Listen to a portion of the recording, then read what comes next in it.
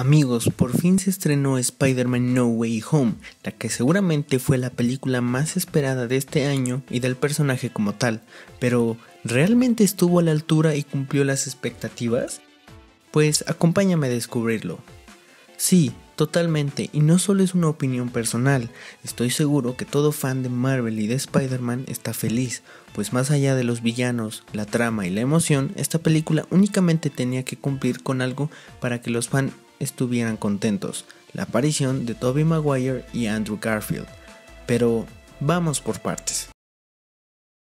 Marvel en los últimos años nos ha dado películas que han paralizado al mundo y han brindado una especie de emoción nueva que antes el cine no tenía. Posiblemente estamos ante los primeros indicios de un nuevo género en el cine, que como tal apuesta más al espectáculo, apuesta más a la experiencia y a la emoción similar a un concierto o a un partido de fútbol, única y exclusivamente hecho con el fin de brindar eso, una gran experiencia.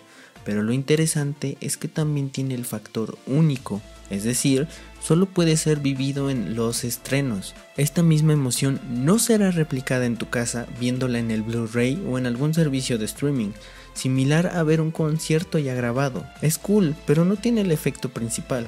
Muchas veces hemos escuchado la frase Marvel no es cine. Claro que lo es, pero está reformulando la forma de hacerlo. Para bien o para mal, mm, no hay respuesta, pues cada película tiene un objetivo, tiene una razón de ser, y cada film tiene en mente lo que quiere provocar en el espectador. Por eso el cine es maravilloso, porque hay para todos los gustos y puede provocar todas las emociones y sensaciones. Miedo, terror, ternura, diversión, alegría, tristeza, excitación, en este caso, euforia. Aún así, dicho todo esto, se puede calificar a la película dentro de los parámetros que establece y con lo que quiere lograr. Primero hablemos de lo malo para dejarlo rápido de lado. En general, la trama de esta película era un tanto complicada, ya que en anteriores entregas de Marvel de este estilo hacían uso del fanservice como un recurso, pero en esta ocasión la propia película basa todo su argumento en el fanservice, lo cual es un terreno peligroso, pero considero que fue bien manejado.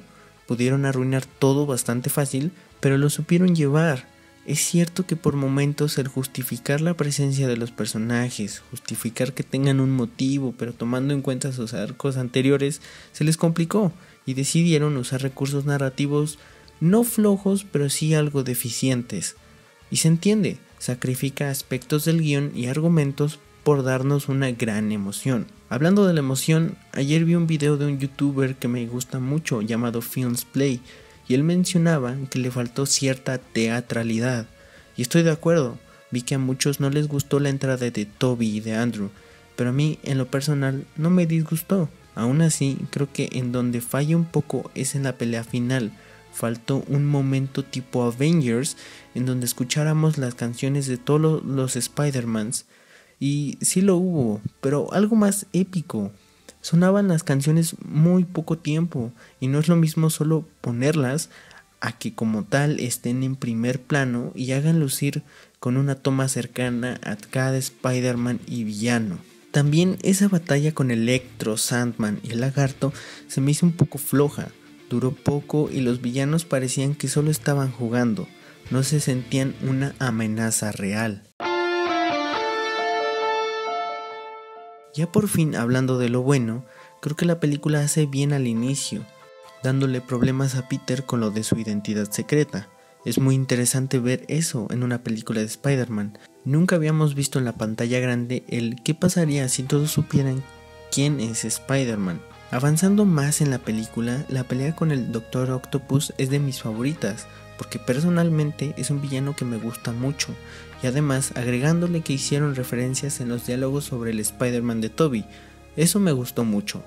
Que ese es un buen punto a su favor, la película como tal celebra y es un homenaje a todo lo que Spider-Man hizo en el cine, y lo hace bien, lo hace increíble. También dentro de las cosas buenas está el villano principal, que sin duda es el Duende Verde, no había otra forma de hacerlo, ya que así como Batman tiene a su Joker, Spider-Man tiene al Duende Verde. E interpretado por Willem Dafoe es increíble. Sin duda es la mejor actuación de la película y se me hizo un buen acierto el hacer que no usara la máscara. Es irónico cómo da más miedo sin ella. Por fin tuvimos la frase, ahora esta vez dicha por la tía May. Y está bien, el multiverso nos hace ver que todo es posible y este cambio es aceptable y me gustó. También su muerte. Creo que por fin hace que este Peter tenga consecuencias en sus actos y ayuda para su desarrollo que se había ido bastante a la basura con Far From Home. Y la gran cereza del pastel, Toby y Andrew. Me encantó verlos, me encantó la interacción entre ellos, las situaciones chistosas, las dramáticas, en donde muestran cómo se entienden entre ellos, entienden la pérdida que los tres llevan consigo y creo que es increíble y muy poético que como ellos terminan siendo mejores, uh, no mentores, pero sí dando un mejor apoyo e impulso para el Spider-Man de Tom. El final creo que es bastante inteligente. Por fin vemos cómo este Spider-Man es lo que siempre tuvo que ser, haciendo su propio traje, luchando por trabajar y sobrevivir, en un departamento pequeño, sin mucho dinero, prácticamente solo, escuchando la radio y seguramente en el futuro veamos cómo va a trabajar con Jonah Jameson. Y es que esto es lo que realmente representa Spider-Man, alguien que lucha contra la adversidad, es condenado a vivir con la desgracia y la tragedia, teniendo un don que al mismo tiempo se convierte en una maldición.